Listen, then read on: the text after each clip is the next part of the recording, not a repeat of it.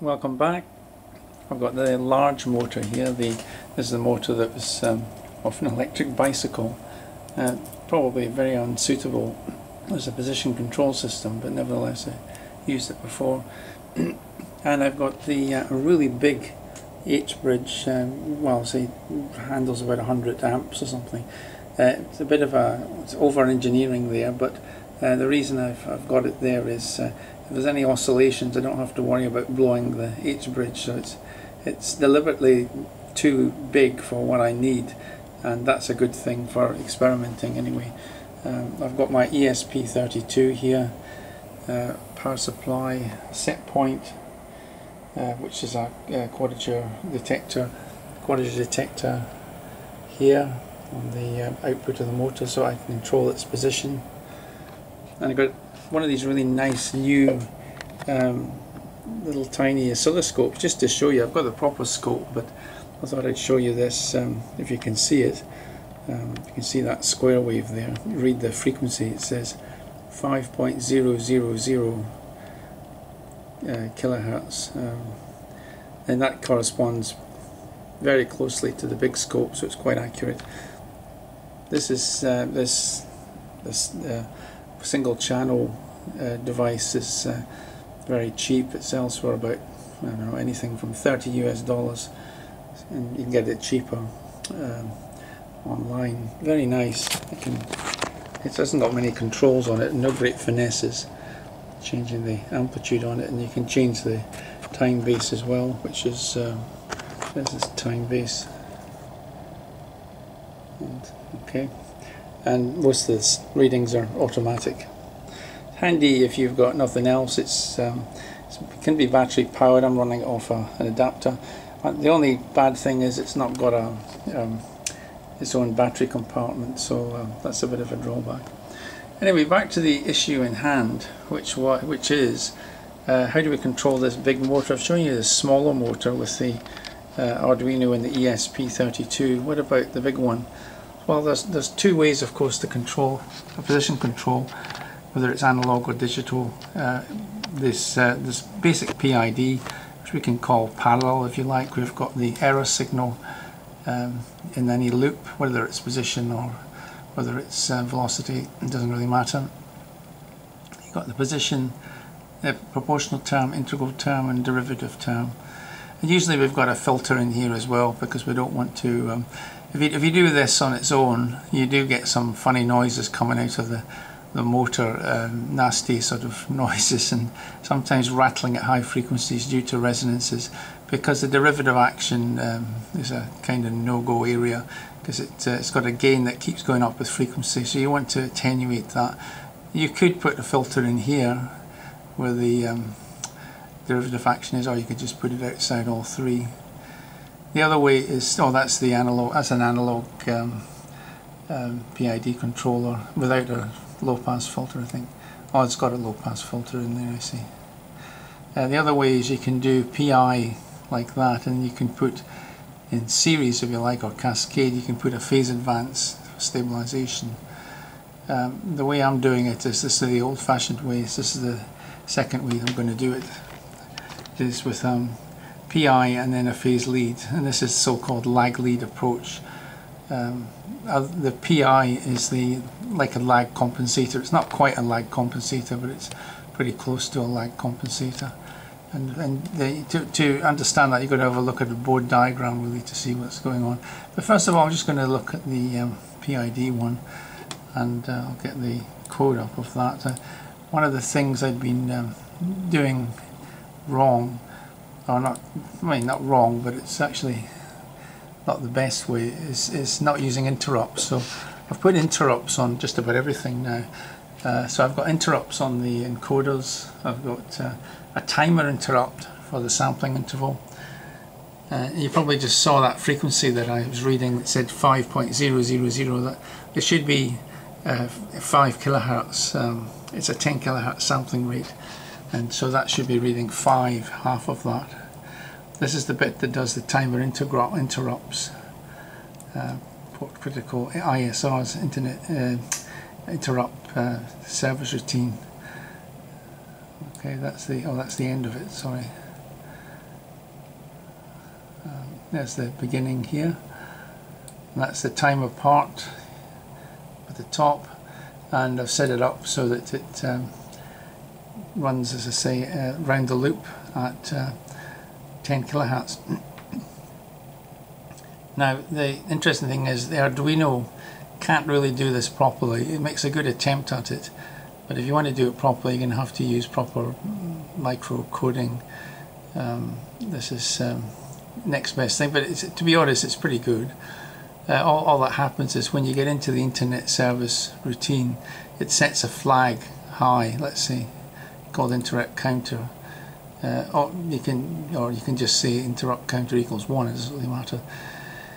So it sets that flag. So the hardware will do that. You don't have to to run that routine. The hardware automatically uh, does that. And if you go down to the main while loop which isn't really a while loop if it's Arduino code uh, then uh, where is it? Let's see it somewhere. Oh that's still set up oh sorry. Sometimes difficult this yeah there it is. Sometimes difficult in the Arduino system to find out where things begin and end uh, because you can't collapse the, um, the, the loops and things in this editor. Uh, but then if the interrupt count is greater than zero then it does the while loop this main this infinite loop. Uh, but then it, de it, decrements it sets resets it back again. Uh, that's the best we can do really as far as I know uh, because we can't use queues this is another way to an improvement on this.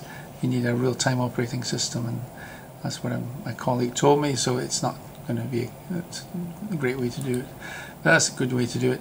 Uh, also we can do switches using interrupts uh, which I've done as well. So everything's interrupt driven and this is the best as I say we can do is this flag that we set in the internet service routine. So if we go back to the demonstration here's my set point and that's the position control. It's pretty good. This is I'll just put it here so you can see me doing it. You can see the red of it turning around. I can go many times as round as I like. The other thing I had to do was reduce the, um, uh, make this uh, much smaller pulses per, uh, per, rev, per rev really because um, it can't take the um, it can't follow the 1000 uh, pulses per rev. Uh, so that's 360 yeah. There's a physical limit to how, how quickly it can follow these things. Uh, if I um, I can I have a switch here which I can tell it where zero is and then I can move the move it around. If I flick the second switch it should return to zero. There it goes. Do it again. Turn it around several times and eventually gets there. We're back to normal. So that's the, and I feel that it's not too bad, I can feel a little bit, it's not, you know, solid by any means, uh, but it's uh, not too bad. So that's the um, PID, if I get rid of that, I've got the lag lead, I'll just um, upload that one.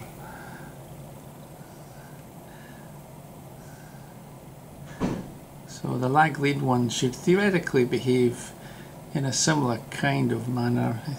You can do some extra fancy things with it if you want, but, but here's the lag. I think it is slightly better to be honest. It's got strong, slightly feels stronger there. That's it. And um, maybe the bandwidth's a little bit higher here. I can set the bandwidth. I know what I'm setting it at here. I've got the maths model of the motor properly. I can sort of draw a bode plot really and figure it out. Um, and there we go, that's the lag lead. You can hear a little bit of noise there coming from it. Hear that? It's nothing serious there. I, you can reduce that by having a low pass filter that's that's lower, uh, cutting off higher frequencies a bit lower down in the spectrum. Uh, if I got rid of the low pass filter it would be quite noisy. Um, maybe I, I, could do that to show you and uh, it would have other effects. Um, so if you look at the code my basically everything's in cascade so I have uh, my PI bit which is uh, it's like 1 plus ST over S. That's the code for that, it's very simple. And this would be similar code in any language um, whatever you're doing. It's not going to change much. Phase lead which I've designed digitally um, using Z transforms. And these are two low pass filters.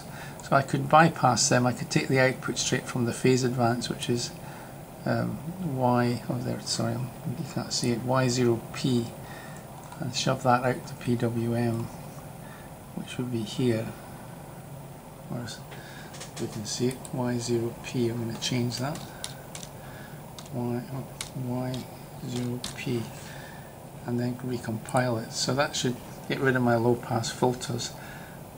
I should uh, be able to, should be quite interesting then. So compiling, loading.